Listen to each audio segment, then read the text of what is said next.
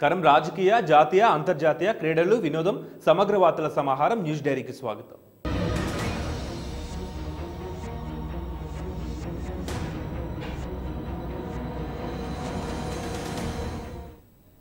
Detail చూస్తే ఉమ్మడి రాష్ట్ర గవర్నర్గా కొనసాగుతున్న ఈఎస్ఎల్ నరసింహన్ మరో ము- ఏడేళ్ళ పాటు ఆయనే మళ్ళీ యథాతథంగా కొనసాగుతారా? ఆయన టర్మ్ పూర్తయిపోవడంతో కేంద్రం ఎలాంటి నిర్ణయం తీసుకునే అవకాశం ఉంది? ఇప్పుడు ఇలాంటి ఎన్నో సందేహాలు తెలుగు రాష్ట్రాల్లో చక్కెర్లు కొడుతున్నాయి.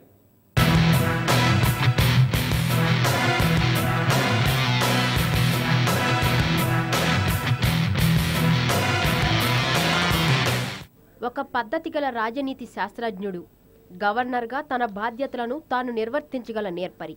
ఆయనే తెలుగు రాష్ట్రాల ఉమ్మడి గవర్నర్ నరసింహన్. ఓర్పు సహనానికి నిలువుటద్దంగా కనిపించే ఈయన ఇక మీదట తన బరువు బాధ్యతలను దింపేసుకుంటారా? లేక మళ్ళీ అవే బాధ్యతలను భుజాన వేసుకొని మరో ఏడేళ్ళ పాటు కొనసాగుతారా? ఇప్పుడు రాజకీయాల్లో ఇలాంటి సందేహాలు మొదలైపోయాయి. ఎందుకంటే గవర్నర్ పదవీకాలం పూర్తయిపోయిన తరుణంలో రాజ్యాంగ విధులను సక్రమంగా నిర్వర్తించే మరో వ్యక్తిని గవర్నర్గా నియమించడం అంటే కేంద్రానికి ఇప్పుడు కత్తి మీద సవాల్ లాంటి అంశమే. అందుకే కేంద్రం సైతం ఏ నిర్ణయం తీసుకోవాలనే దానిపైనే తర్జనా భర్జన అవుతున్నట్లు తెలుస్తోంది.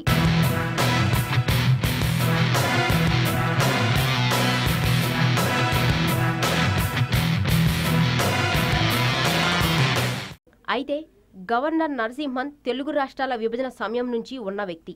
ఆయనకు రెండు రాష్ట్రాల సమస్యల మీద మంచి అనుభవం ఉంది. అలాగని ఆయనకు ఆయనే కూర్చొని ఇరు రాష్ట్రాల సమస్యలను పరిష్కరించినది లేదు. కానీ వివాదాలను పెద్దవి కాకుండా సమన్వయపరచడంలో మాత్రం ఇరు ముఖ్యమంత్రులతో మాట్లాడుతుంటారు. సెక్షన్ పదికి సంబంధించిన అంశాలు గాని ఉద్యోగుల విభజన విషయంలో గాని ఇరు రాష్ట్రాల మధ్య నడిచిన ఆస్తుల వివాదాల్లో గాని నరసింహన్ చేసిందేమీ లేదు. ఆయన ఏం చేయాలన్నా కేంద్రం ఆదేశాలకు అనుగుణంగానే వెళతారు. అయితే ఇక్కడ జరుగుతున్న పరిస్థితులపై ఎప్పటికప్పుడు కేంద్రానికి నివేదిక అందిస్తుంటారు. ఓటుకు నోటు కేసు వ్యవహారంలో కూడా ఇరు రాష్ట్రాల మధ్య ఇరు ముఖ్యమంత్రుల మధ్య వివాదాన్ని కొన్ని మీడియా సంస్థలకు చెందిన యాజమాన్యాలు మధ్యవర్తిత్వం వహించి సమస్యను ఓ కొలిక్కి తెచ్చారనే వాదనలు ఉన్నాయి. అంతేగాని అంతకు మించి ఈ అంశంలో కూడా గవర్నర్ ఇన్వాల్వ్మెంట్ పెద్దగా లేదనేది ఆ మధ్య వినిపించిన వినికిడి. ఇదిలా ఉంటే ఇప్పుడున్న పరిస్థితుల్లో గవర్నర్గా ఉన్న నరసింహన్ను తొలగించాలంటే రెండు రాష్ట్రాలకు విడివిడిగా గవర్నర్లను నియమించాలి. అదే గనక జరిగితే ఏపీలో రాజ్భవన్ను ఏర్పాటు చేయాలి. అలా కాకుండా హైదరాబాద్లో ఉన్న రాజ్భవన్ను రెండుగా విభజించే పరిస్థితి లేదు. దీంతో కొత్త సమస్యలు పుట్టుకొస్తాయి. మొత్తానికి ఉమ్మడి రాష్ట్ర గవర్నర్గా ఉన్న నరసింహన్ను మరో ఏడేళ్ళు కొనసాగించే యోచనలోనే కేంద్రం నిర్ణయాలు తీసుకుంటున్నట్లు తెలుస్తోంది. ఎందుకంటే విభజన చట్టం ప్రకారం పదేళ్ళ పాటు ఉమ్మడి రాజధానిగా హైదరాబాద్ ఉంది. ఇప్పటికీ మూడేళ్ళు పూర్తయిపోయాయి గనక మరో ఏడేళ్ళు నరసింహనే కొనసాగుతారా? ఒకవేళ అదే నిజమైతే నరసింహన్ ఓ రికార్డు సృష్టించిన వారవుతారు. ఇంతవరకు ఏ గవర్నర్ వరుసగా ఇన్నేళ్ళు గవర్నర్గా కొనసాగిన పరిస్థితి లేదు. దీంతో నరసింహందే పై చేయి అవుతుంది.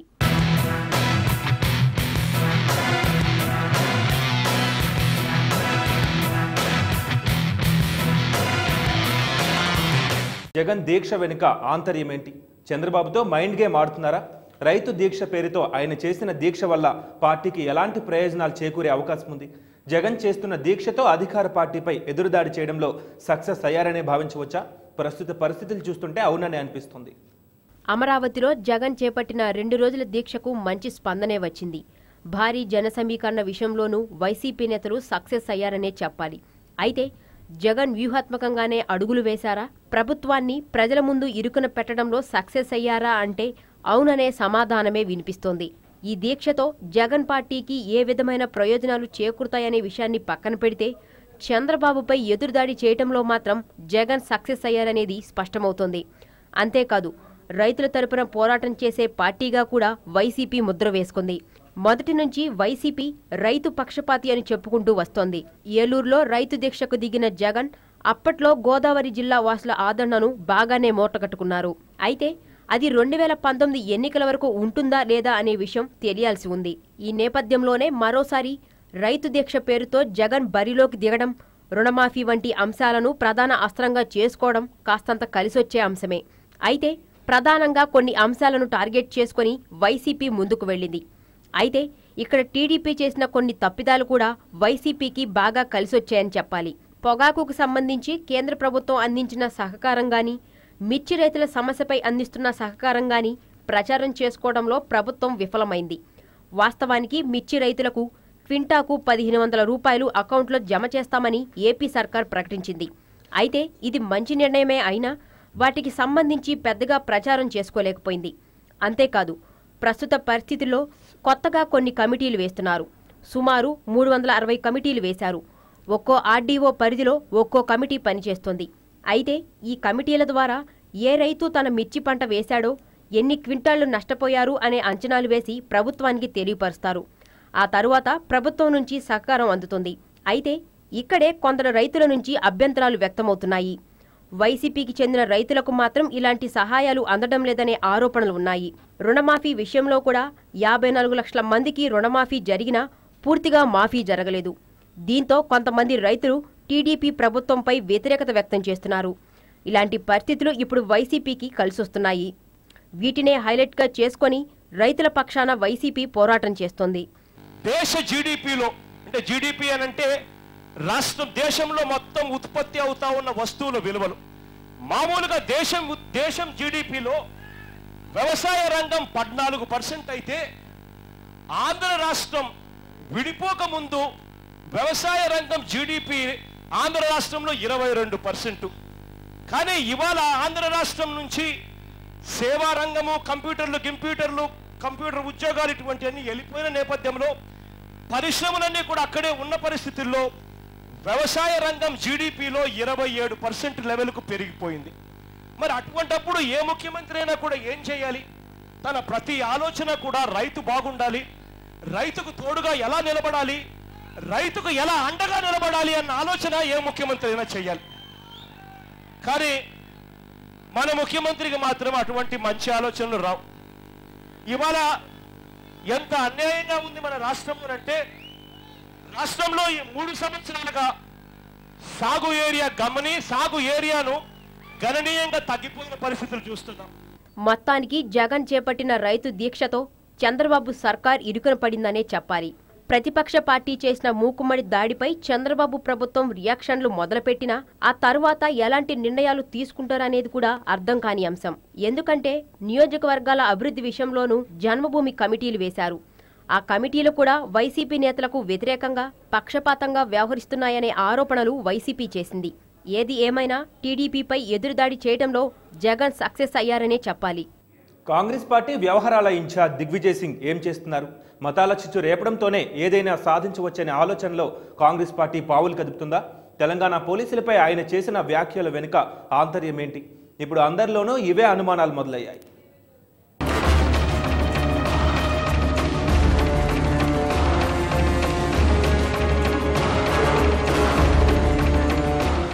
కాంగ్రెస్ సీనియర్ నేత దిగ్విజయ్ సింగ్ చేసిన సంచలన వ్యాఖ్యలు తెలంగాణ రాష్ట్రంలో ఇప్పుడు చర్చనీయాంశంగా మారాయి.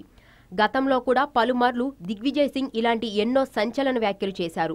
ప్రధానంగా మతం ప్రాతిపదికన ప్రజలను రెచ్చగొట్టడం అనేది కాంగ్రెస్ పార్టీ చేసే రాజకీయాల్లో ఒక భాగమనే ఆరోపణలు లేకపోలేదు. రెండు వేల తొమ్మిది ఎన్నికల్లో కూడా ఇలాంటి రాజకీయాలే చేశారు. ఎంఐఎంను టార్గెట్గా చేసుకున్నారు. ఫలితంగా హైదరాబాద్లో ఒక ఎంపీ స్థానాన్ని కోల్పోయారు. అయితే ప్రస్తుతం డిగ్గీ రాజా చేస్తున్న వ్యాఖ్యలను బట్టి చూస్తుంటే కాంగ్రెస్ పార్టీ మళ్ళీ మత ప్రాతిపదికన ముందుకు వెళుతుందా? మతం పేరుతో చిచ్చురేపి రెండు వేల పంతొమ్మిది ఎన్నికల నాటికి ఓట్లను చీల్చడమే లక్ష్యంగా పెట్టుకుందా? ఇందుకు సంబంధించి హైకమాండ్ నుంచి వచ్చిన ఆదేశాల మేరకే దిగ్విజయ్ సింగ్ ఈ తరహా వ్యాఖ్యలు చేశారా అనేది ఇప్పుడు రాజకీయాల్లో చర్చనీయాంశమైంది. మన పోలీసు చాలా బాగుంది ఎందుకంటే చాలా కష్టపడి పనిచేస్తుంది. అది మాత్రం మన త్రో ఆఫ్ ఇండియాలో మన తెలంగాణ పోలీస్ అంటే చాలా గౌరవంగా ఉంది. ఆ గౌరవం లోపట ఎందుకంటే ఇటువంటి కొన్ని విషయాలు అనుకోకుండా జరుగుతున్నాయి. దానికి మా మైనారిటీ ముస్లిం సోదరులు చాలా బాధపడుతున్నారు. అందు గురించి దయచేసి ఏదంటే ఇన్వెస్టిగేషన్ చేసేటప్పుడు ఆయన చాలా వరకు జాగ్రత్తగా చేస్తే బాగుంటుందని చెప్పి మా ఒక కోరిక. అక్కడ లోకల్గా ఏమవుతుందంటే చాలా వరకు వాళ్ళ బంధువులు కానీ వాళ్ళ ఫ్రెండ్స్ కానీ వాళ్ళను దూరం పెడుతున్నారు. ఎందుకంటే ఏది చేయకుండా కూడా వాళ్ళు ఒక బహిష్కరణ లెక్క అయిపోతుంది. దాని గురించి చాలా బాధ అవుతుంది. ఇటువంటి కావద్దని చెప్పి మేము భావిస్తున్నాము. తెలంగాణ పోలీసులపై దిగ్విజయ్ సింగ్ చేసిన వ్యాఖ్యలు టీఆర్ఎస్ పార్టీలో కొత్త చిచ్చు రేపాయి. దీనిపై మంత్రి కేటీఆర్ సైతం స్పందించారు. తెలంగాణ పోలీసులు ఐఎస్ఐఎస్ వెబ్సైట్ను ఏర్పాటు చేసి ముస్లిం యువతను ఉగ్రవాద కార్యకలాపాలకు ప్రోత్సహిస్తున్నారనే రీతిలో దిగ్విజయ్ సింగ్ ఆరోపణలు చేయడాన్ని ఆయన ఖండించారు.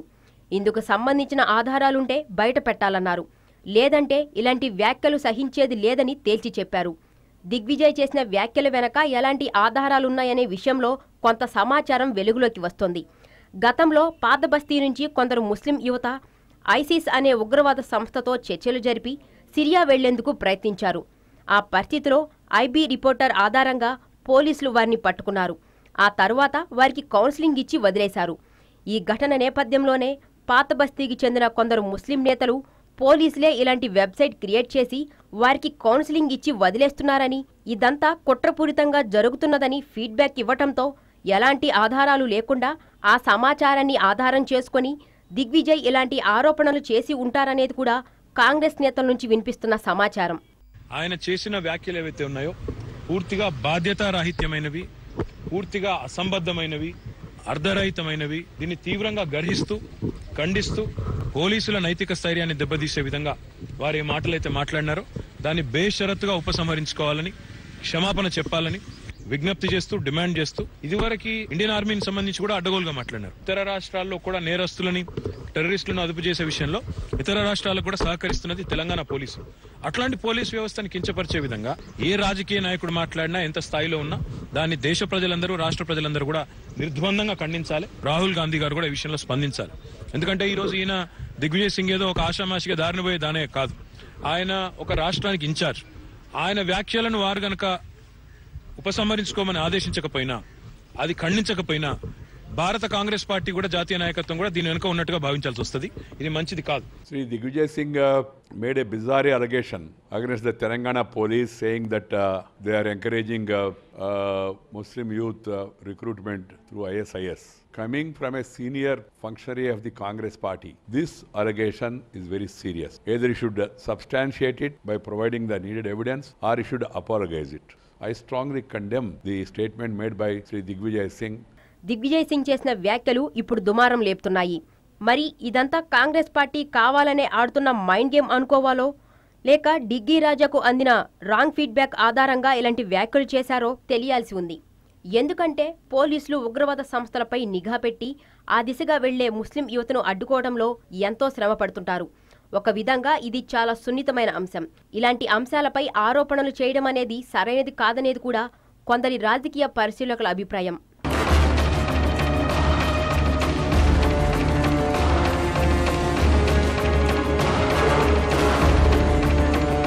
ఖమ్మం మిర్చి మంట వెనుక అసలు కారణం ఏంటి మోడీ తీసుకున్న నిర్ణయాలే దళారుల నడ్డి విరిచాయా? ఆ ఎఫెక్ట్తోనే మిర్చి మంటలకు ఇంకా చెలరేగుతున్నాయా? అసలు ప్రస్తుత పరిస్థితులతో దళారులు పడుతున్న ఇబ్బందులేంటి?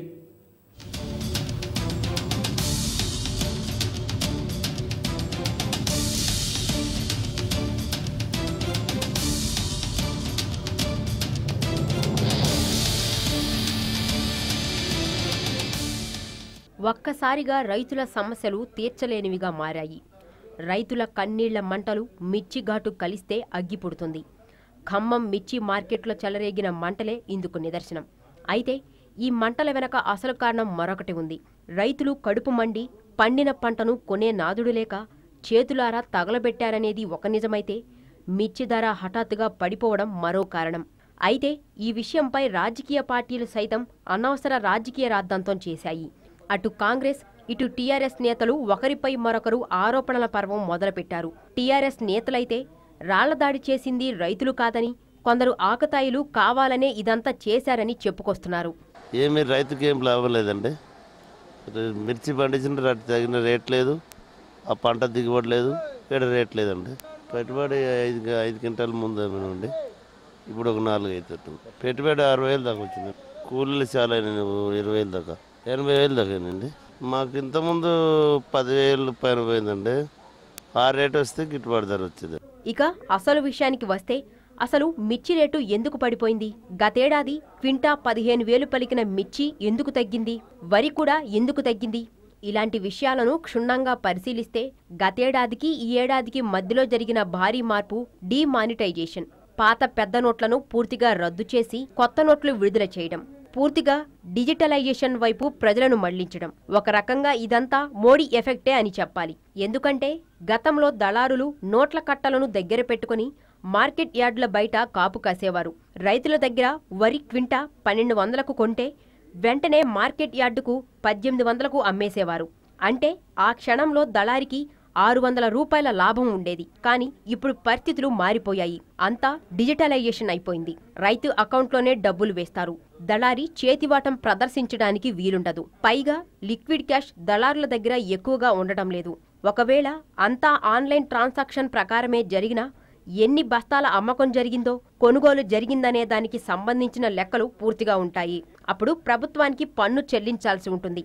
ఉదాహరణకు ఒక దళారి వెయ్యి బస్తాల ధాన్యం కొంటే దాన్ని వెంటనే అమ్మేస్తాడు. బస్తాకు వంద రూపాయల చొప్పున లాభం వేసుకున్న వెయ్యి బస్తాలకు లక్ష రూపాయలు లాభం వస్తుంది. ఈ రెండు నెలల్లో ఒక్కో దళారి ఎన్ని లక్షల రూపాయలు సంపాదిస్తాడు? అదంతా డిజిటల్ ట్రాన్సాక్షన్ రూపంలో జరిగితే ప్రభుత్వానికి ఎంత పన్ను చెల్లించాలి? ఈ నేపథ్యంలోనే దళారీలు రైతులకు గిట్టుబాటు ధరలను తగ్గించేస్తున్నారనేది పలువురి అభిప్రాయం. పన్నెండు వందల కానీ మందు కట్టలు ఉన్నాయి కూలీలు చూస్తేనే రెండు వందల ముప్పై రూపాయలు రెండు వందల నలభై రెండు వందల యాభై అంటారు. ఈడకి వచ్చి మిరగాయ చూస్తే నాలుగు నాలుగు వేలు ఐదు వేలు అంటారు. ఇంకా మాకేందండి రైట్కి మిగిలేదు? మాకు ఎకరానికి వచ్చేసి లక్ష రూపాయలు ఖర్చు వస్తుందండి. మేము ఒక మూడు ఎకరాలు వేసానండి ఏమీ మిగలవండి. కూలోళ్ళకి కూలోళ్ళకి వాళ్ళకి మందుల కొట్లకు కూడా లాస్ట్కి డబ్బు మిగలదు. అది పరిస్థితి.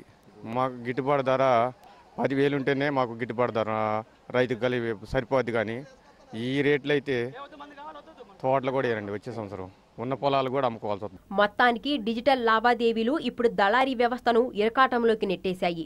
దీంతో కొంతవరకు ఇబ్బందులు ఉన్నా ధరలు తగ్గుముఖం పట్టే అవకాశం ఉంటుంది. ఒక రకంగా ఇది వినియోగదారుడికి కలిసొచ్చే అంశమే. అలాగని దళారులు చేతివాటం ప్రదర్శించకుండా చర్యలు తీసుకోవాల్సిన అవసరం కూడా ప్రభుత్వంపై ఉంది. ప్రభుత్వం నిర్ణయించిన ధరకు రైతు అమ్మినా నష్టం లేదు వినియోగదారుడు కొన్నా నష్టం లేదు.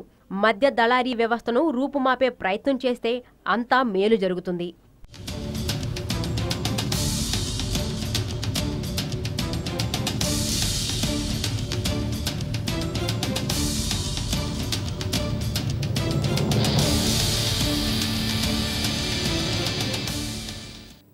ఎక్కడ చూసినా అవినీతే. ఏ మెగా ప్లాంట్ను కదిపినా కుంభకోణమే. ఒకటా రెండా? తవ్వే కొద్దీ వెలుగు చూస్తున్నాయి. అయితే ఇవన్నీ మోడీ దృష్టికి వెళ్తాయా? లేక ఇప్పటికే ఆయన మైండ్లో ఉన్నాయా? ఉంటే ఎలాంటి చర్యలు తీసుకునే అవకాశం ఉంది ఇప్పుడు ఇవే అనుమానాలు మొదలయ్యాయి. ఇంతకీ ఆ కుంభకోణాల లిస్ట్ ఏంటి?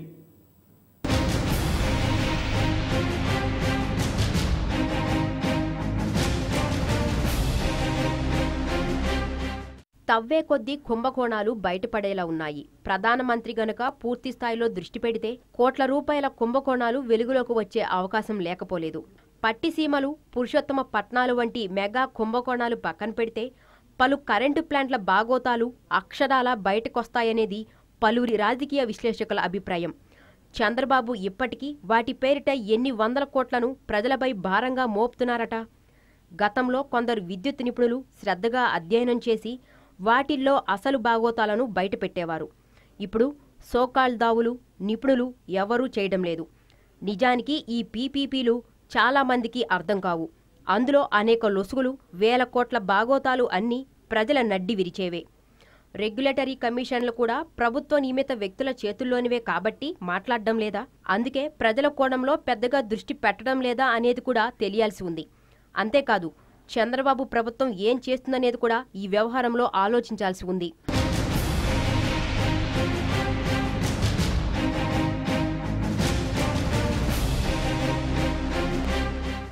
అయితే జీవీకే వన్ ప్లాంట్ పీపీఏ గడువు రెండు వేల పదిహేను జూన్లోనే అయిపోయింది. రెండు వేల పదహారు ఏప్రిల్లో ప్రభుత్వం తీసేసుకుంది కూడా. ఆ తర్వాతే దానికి గోదావరి గ్యాస్ పవర్ ప్లాంట్ అనే పేరు కూడా పెట్టారు. అంతేకాదు దీని విషయంలోనే గతంలో చంద్రబాబు అధికారంలో ఉన్నప్పుడు గొడవ జరిగింది. వైఎస్ మైసూరా విరుచుకుపడ్డారు. అక్షమాలపై అసెంబ్లీలో నిలదీశారు. ఈ పీపీపీ గడువు కూడా రెండు వేల పదహారు మార్చితో అయిపోయింది. మరి బైఅవుట్ ఎందుకు వర్తింపజేయలేదు? ఎందుకు తీసుకోలేదు? పైగా ఆ పీపీఏను రెన్యువల్ చేసి ఇంకా ఇంకా ఫిక్స్డ్ ఛార్జీలు ఇస్తారట. అంటే అడిగేవారు లేరనే ఇదంతా చేస్తున్నారా అనేది ఇప్పుడు పరిశీలకుల ప్రశ్న. ఇక లగడపాటికి చెందిన ల్యాంకో కొండపల్లి ప్లాంట్ కథ అలాంటిదే. పీపీఏ గడువు జనవరి రెండు వేల పదితో పూర్తయింది. అయినా సరే మళ్ళీ దాన్ని రెన్యువల్ చేస్తారట. దానికోసం పైరవీలు చంద్రబాబుతో బేరసారాలు. ఎందుకు చంద్రబాబుకు అంత ప్రేమ? రాజకీయ ప్రయోజనాలా లేక ఆర్థిక ప్రయోజనాలా? నిజానికి ఆ ప్లాంటు ప్రజలది. ప్రభుత్వం తీసేసుకోవాలి. కానీ చంద్రబాబు ప్రభుత్వం మాత్రం ఈ ఏడాది ఏకంగా నూట ఎనభై కోట్లు ఫిక్స్డ్ ఛార్జీలుగా చెల్లిస్తుందట. అంటే ఆ ప్లాంట్ కోసం జనమే అంత భారీగా సొమ్ము చెల్లించాలన్నమాట.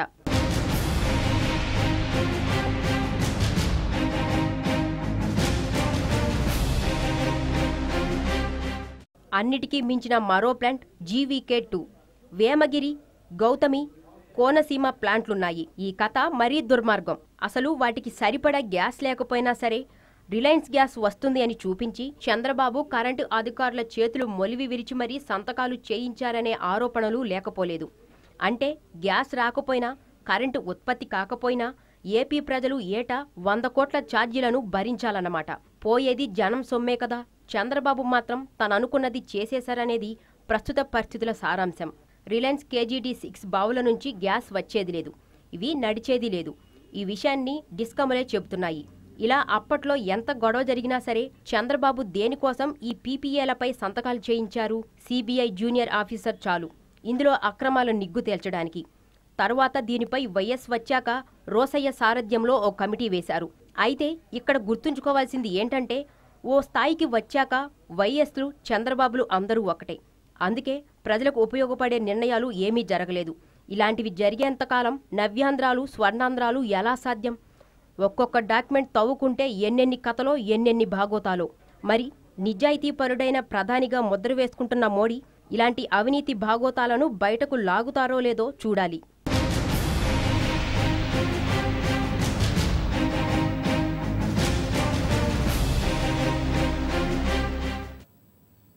సత్యం బాబు ఆయేషా మీరా హత్య కేసులో జైలుకు వెళ్ళిన వ్యక్తి. అయితే హైకోర్టు పుణ్యమా అని నిర్దోషిగా బయటకు వచ్చాడు కానీ పోలీసులు మాత్రం ఇంకా సత్యం బాబే నిందితుడని చెబుతున్నారు. ఇంతలో సత్యం బాబు మీడియా ముందుకొచ్చి ప్రెస్ మీట్ పెట్టేస్తున్నాడు. దళిత సంఘాల ప్రోద్బలంతో సత్యం బాబు ఏం చేయాలనుకుంటున్నాడు? ఈ కేసులో అసలు దోషులు ఎవరు?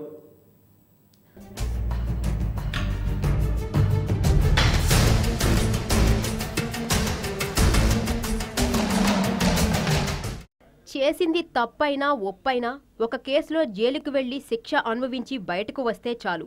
అతగాడు సెలబ్రిటీ అయిపోతాడు. ప్రజల నోళ్ళల్లో నానిపోతాడు. సత్యంబాబు విషయంలోనూ అదే జరిగింది. పైగా ఈయనకు నిర్దోషి అనే బిరుదు కూడా యాడైందేమో సత్యంబాబుకు ఇక తిరుగు లేకుండా పోయింది. దీంతో ఇప్పుడు ఇతగాడు ఏకంగా ప్రెస్ మీట్లు సైతం పెట్టేస్తున్నాడు. వాస్తవానికి ఆయేషా మీరా హత్య కేసులో ఎనిమిదేళ్ళ తర్వాత సత్యంబాబు నిర్దోషిగా బయటకొచ్చాడు. కోర్టు ఇచ్చిన తీర్పు ప్రకారం సత్యంబాబు నిర్దోషి అయినా ఎలాంటి నేరాలు చేయని దోషి మాత్రం కాదనేది కొందరి అభిప్రాయం. ఒకప్పుడు సత్యంబాబు ఎవరు అని పరిశీలిస్తే చిన్న చిన్న దొంగతనాలు వెకిలి చేష్టలు అల్లరి పనులు చేసే ఒక ఆకతాయి. రాత్రులు ఇళ్ళలో దూరి అమ్మాయిలతో అసభ్యంగా ప్రవర్తించే ఒక మానసిక రోగి. అలాంటి వ్యక్తి ఆయేషా మీరా హత్య కేసులో నిందితుడిగా జైలుకెళ్ళాడు కానీ అసలు ఆయేషా మీరాపై అసలు అత్యాచారమే జరగలేదనే పోస్ట్మార్టం రిపోర్ట్ ఆధారంగా సత్యంబాబు నిర్దోషిగా బయటకు వచ్చాడు. కానీ ఎనిమిదేళ్ళ పాటు జైలులో శిక్ష అనుభవించాడు. అయితే వాస్తవానికి సత్యంబాబు ట్రాక్ రికార్డ్ పరిశీలిస్తే కొన్ని అనుమానాలు వెలుగులోకి వస్తున్నాయి.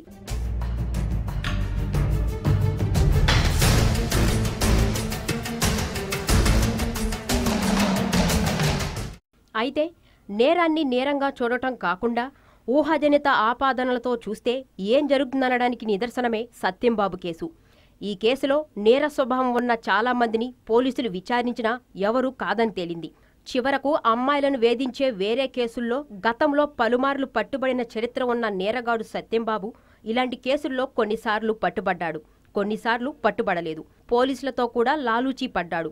దీంతో సత్యంబాబును విచారణ జరిపితే ఆయేషా మీరా హత్య కేసులో తానే నిందితుడని ఒప్పుకున్నాడు. ఆ టైంలో అతన్ని పోలీసులు అరెస్ట్ చేశారు. డిఎన్ఏ రిపోర్టు కూడా సత్యంబాబునే దోషిగా చూపించింది. కానీ ఎవరినో కాపాడడానికి ఇదంతా చేస్తున్నారని మహిళా సంఘాలు ఆయేషా తల్లి హడావిడి చేయటంతో వారి ఫిర్యాదుల మేరకే అత్యాచారం కేసు నమోదు చేశారు. అదే ఇప్పుడు సత్యంబాబుకు కలిసొచ్చింది. ఆయేషా పోస్ట్ మార్టం రిపోర్ట్ ప్రకారం అత్యాచారం జరగలేదని తేలింది. సత్యంబాబు అత్యాచారం చేశాడని కేసు నమోదు కావటంతో అసలు అత్యాచారమే జరగనప్పుడు సత్యంబాబును ఎందుకు అరెస్ట్ చేశారని కోర్టు పోలీసులను ప్రశ్నించి సత్యంబాబును నిర్దోషిగా విడుదల చేయాలని ఆదేశించింది. ఈ నేపథ్యంలోనే కొందరు సత్యంబాబుకు కండక్ట్ సర్టిఫికెట్ ఇచ్చేస్తున్నారు. అసలు సత్యంబాబు నేరగాడే కాదంటూ అతన్ని ఆకాశానికి ఎత్తేశారు. ఈ నేపథ్యంలోనే ఇప్పుడు ఏకంగా సత్యంబాబు దళిత సంఘాలతో కలిసి ప్రెస్ మీట్ పెట్టారు. అన్యాయంగా సత్యంబాబుకు శిక్ష వేశారంటూ ఆరోపిస్తున్నారు. ఈ కేసులో అసలు దోషులను అరెస్ట్ చేయాలని కోరుతున్నారు. అయేషా తల్లిదండ్రులు లేకపోతే సత్యంబాబు లేడు. ఎందుకంటే అయేషా తల్లిదండ్రులు మొదటి నుంచి కూడా నాకు సపోర్ట్ ఇస్తున్నారు వాళ్ళ యొక్క వాళ్ళ యొక్క పోరాటాన్ని నేను ఎప్పటికీ మర్చిపోను. అయితే ఈ ఢిల్లీలో నిర్భయ కేసులో మరి నిర్భయ తల్లిదండ్రికి న్యాయం జరిగినప్పుడు ఆ తల్లిదండ్రులు కూడా సంతోషించారు.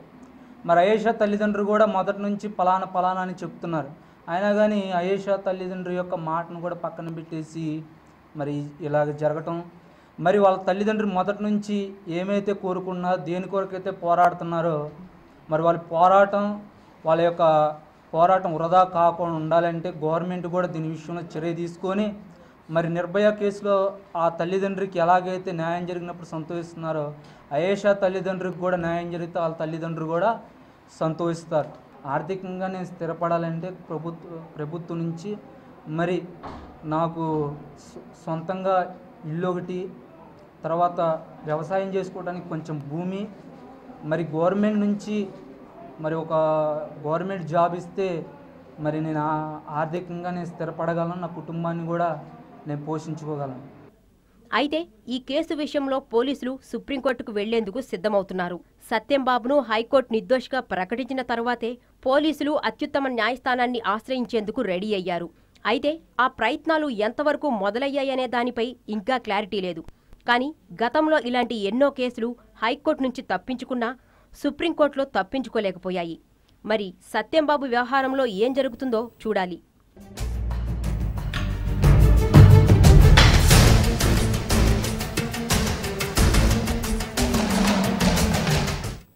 ఇది వాళ్ళ న్యూస్ డైరీకి. వాచింగ్ జెమ్ని న్యూస్ నమస్కారం.